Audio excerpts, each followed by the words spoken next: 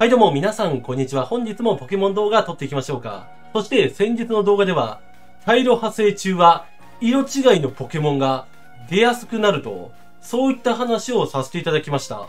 で、今日はですね、その応用編話していきましょうか。通常の色違いは確率が4096分の1、これに関しては、ポケモンシリーズ共通の認識かと思いますね。そしてこのレジェンズ・アルセウスでは、大量発生以外に光るお守り、図鑑の全タスクをクリア、そして図鑑の調査レベル10到達、こちらも満たすことによって、なんとね、色違いの確率が上がるんですよ。例えば、ブイゼルがいます。で、ブイゼルの調査レベルが10に到達してます。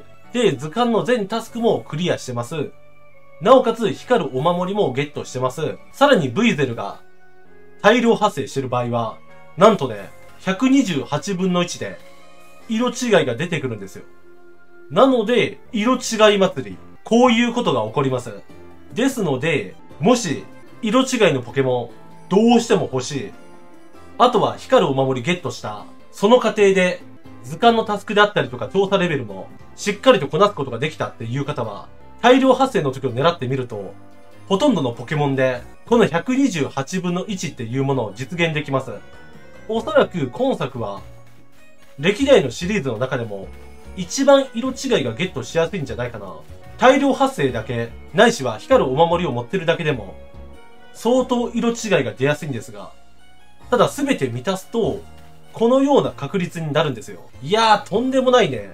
ですので、皆さん、これからも、色違いゲット目指して頑張っていきましょう。では、今日の動画この辺りで終わっていきます。まだチャンネル登録お済みでない方が、もしもいらっしゃいましたら、ぜひこれを機会にチャンネル登録して、これからもポケモン動画を見ていただければ幸いです。よろしくお願いします。おそらくポケモンやってる方であれば、チャンネル登録しておいて損はないと思うので、ぜひ気軽によろしくお願いします。ではまた次回の動画でお会いしましょう。バイバイ。じゃあね。